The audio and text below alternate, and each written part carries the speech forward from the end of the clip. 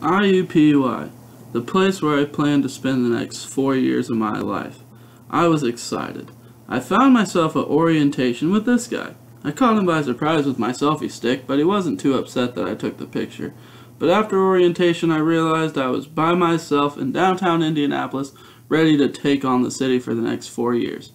But then, I found myself having to do something that really threw me for a loop, and that something was Summer Bridge. Summer Bridge was a whole lot of fun, although we did have to get up pretty early. I met a lot of cool people, and we did a lot of fun stuff in the city. It was a blast.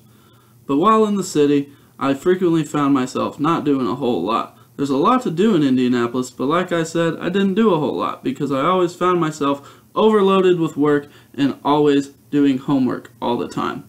I did my homework in my on-campus apartment, which was a lot of fun. I really liked living on campus because it was downtown and I had an awesome roommate. This lady in the middle. She's pretty cool. I like her. I might keep her around. She cooks me food. But still, didn't really do a whole lot because I always had to work and always had homework to do. Speaking of homework, I wasn't always the best student. This is an actual picture of me, and I really never wanted to try harder in class. I tried and tried and tried.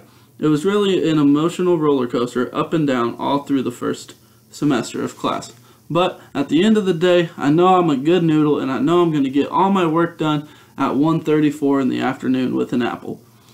What's next, you ask, for Levi Overbey at IUPUI? Well, the road is limitless and I can do whatever I want. But really, I just plan to keep winning and winning and winning and winning.